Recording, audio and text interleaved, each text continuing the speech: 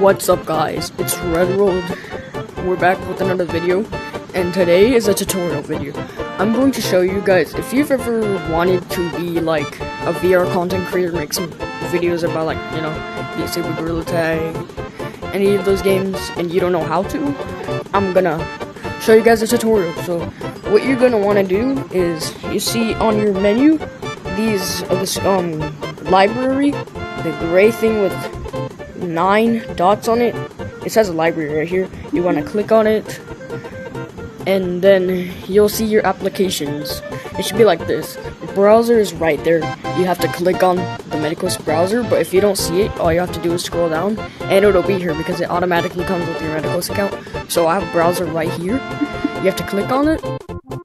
It'll take you to this, and what you're gonna want to do is click Google right here if you have a Google account. And then what you're gonna want to do is click these nine dots and it says Google Apps right here. And what you're gonna want to do is you want to go all the way down into where it says Drive. Click on Drive. So right here, um, we have a bunch of files, and this is what you need to use to transfer files from your Oculus account, or should I say Meta Quest account, to your Google Drive.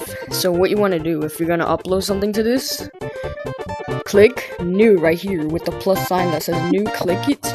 And what you want to do, don't click anything else but file upload, only file upload. And the video you want to select, um, you click it, let's say I want to upload this one, press select, it'll start the upload, depending how big it is, it'll take a long time to upload or it won't take a long time to upload, depending how, on how long the video size is and how much storage it takes up, so yeah, so we're gonna wait for this blue circle to finish, finishing upload, it says right there.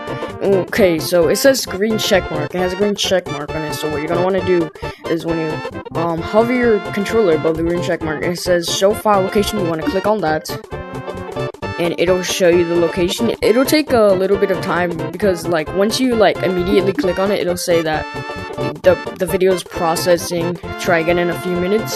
So yeah, you gotta wait a few minutes. So what you're gonna want to do is that you're gonna want to go on your phone or your computer. It doesn't matter what it is, either phone, computer, laptop, desktop, uh, tablet. It doesn't matter.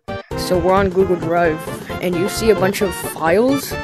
This is the one I uploaded. You gotta click the three dots, and then you gotta press download. And once it down, once it finishes downloading, um, what you're gonna want to do is um, take that download and upload it to YouTube, or you could edit it first with some editing websites or editing apps.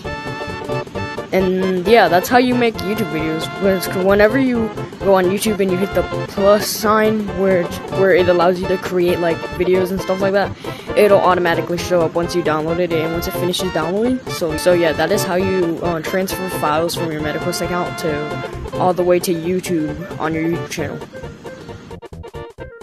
So anyways, this is the end of the video. Thanks for watching. I'll have more tutorials coming in soon about the Meta Quest recording controls. This video was about how to transfer Meta Quest files into YouTube videos. So yeah, thanks for watching and peace out.